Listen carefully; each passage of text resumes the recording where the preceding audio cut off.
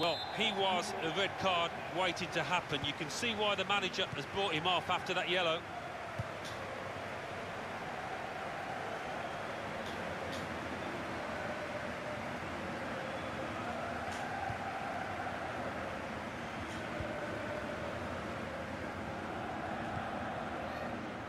Sanya.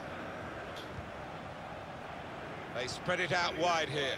Chance to get some width into this attack.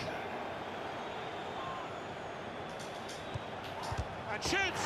Oh. oh, what a fine goal! They lead by two now. They'll feel a little bit more comfortable and they're good value for this advantage at the moment.